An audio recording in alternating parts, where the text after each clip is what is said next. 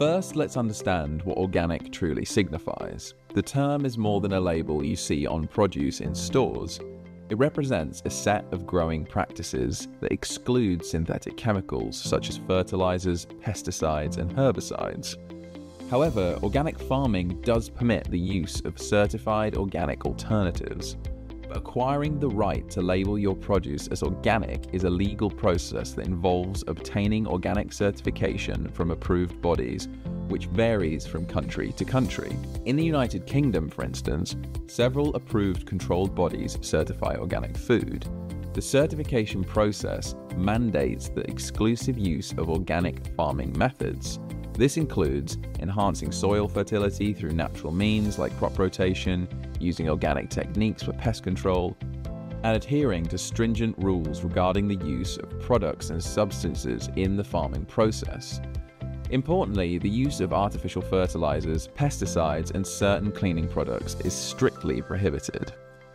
Turning our focus to hydroponics, a method where plants are grown in water based nutrient rich solution without soil, the question arises can hydroponics be organic? Technically, yes. Organic nutrient solutions and pesticides exist, making it possible to grow organic produce hydroponically. However, the crux of the matter lies in whether local certification bodies recognise hydroponically grown produce as organic. In the UK and the EU, hydroponics is not considered organic due to the absence of soil, aligning with their stance that organic agriculture inherently involves soil use.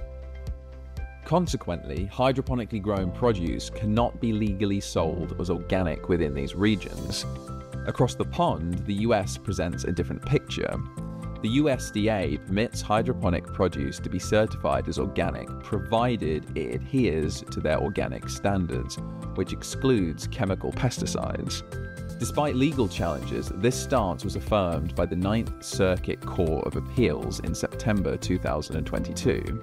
For hydroponic growers not aiming for certification, but rather growing for personal consumption or for friends and family, using organic nutrient solutions and organic pesticides means their produce can technically be considered organic.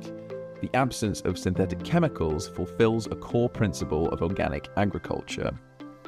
Ultimately, the eligibility of hydroponics for organic certification varies by region.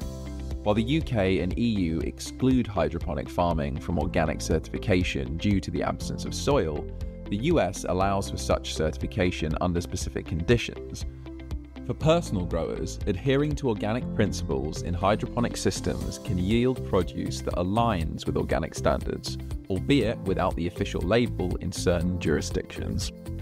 If you like what you just saw, go ahead and click the link in the description to find a full detailed article on this video's topic. Also, click the link on screen now to access free hydroponics courses and join our growers community.